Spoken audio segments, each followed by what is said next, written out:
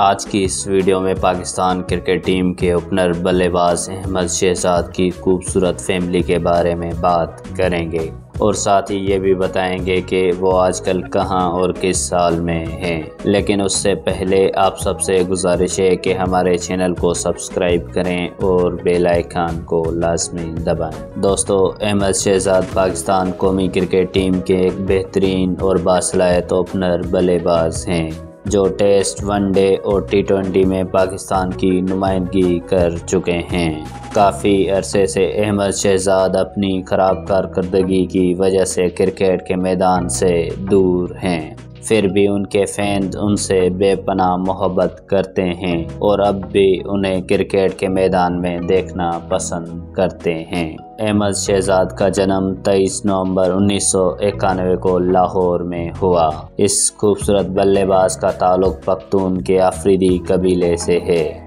जब वो दो साल के थे तो उनके वालिद इस दुनिया से रुखसत कर गए। उनकी परवरिश अनारकली बाज़ार के करीब एक गली में अकेली माँ ने की।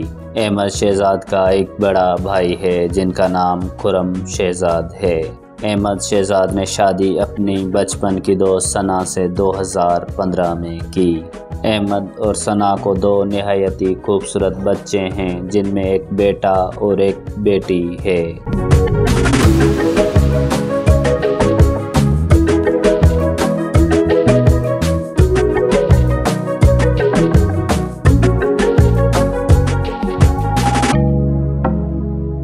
इन दिनों अहमद शहजाद अपनी फैमिली के साथ लाहौर में खुशी खुशी से ज़िंदगी बसर कर रहे हैं। और क्रिकेट में वापसी आने के लिए सख्त मेहनत करते दिखाई दे रहे हैं। दोस्तों, अहमद शहजाद की अपनी फैमिली के साथ तस्वीरें कैसी लगी? और अगर आप उनके फैंस हैं तो इस वीडियो को लाइक करें और अपने दोस्तों के साथ शेयर करना भी मत भूलें।